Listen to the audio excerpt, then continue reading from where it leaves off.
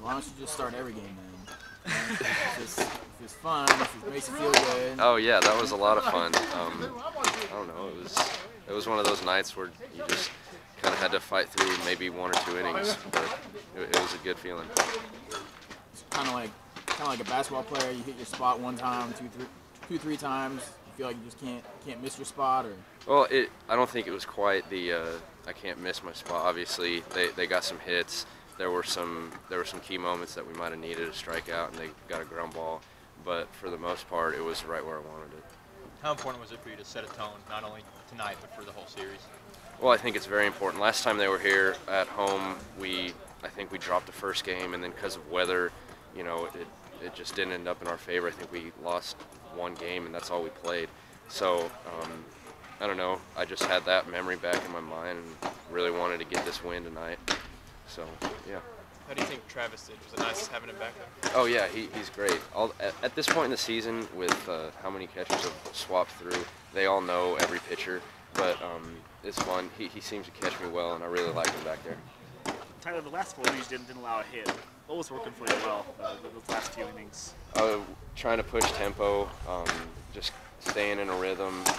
I don't know. We, we uh, me and Rob have been really working on developing a sinker in the last couple of weeks, and so he was telling me just keep sinking the ball, and they'll keep swinging over it. So um, they like to swing a lot on the first pitch, and if I could locate the sinker and the cutter um, early in the count, we are going to get easy outs.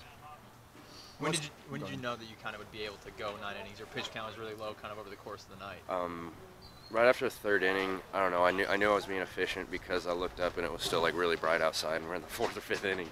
So uh, I knew um, knew I had to be doing okay. And then Rob came up to me after the fifth, and he said, uh, "Let's get back into rhythm and um, uh, let's let's com- let's complete game this." And so I had a feeling, and then he um, solidified that feeling. I guess how how important is that tempo to your game specifically?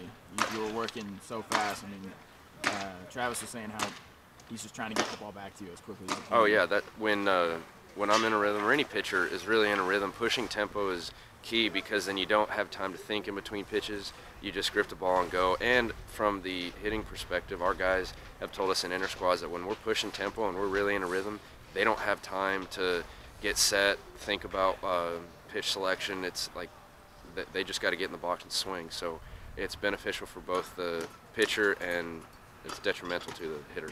But some guys, I mean, they want to work slow. You know, I mean, some I pitches. haven't ever understood that. I mean, Right. some some guys they need that time to think, um, but as I think all four years that I've been here, Josh and Rob have told our pitching staff we want to work fast, and for the, for the reasons I told you. So that's that's kind of what we've all been bred to do. How does a night like this help Jonathan and Blake going forward? Oh, I think it. Any time like in the past when I saw Freeman or Hatch or Perrin go complete game, it was like okay, if you hit your spots, you can you can dominate these guys. And even if it was a really really good team like TCU or or South Carolina last year for Hatch or anybody, you just it's a little bit of a confidence booster for the guys behind, knowing that if they hit their spots, it's going to get the job done.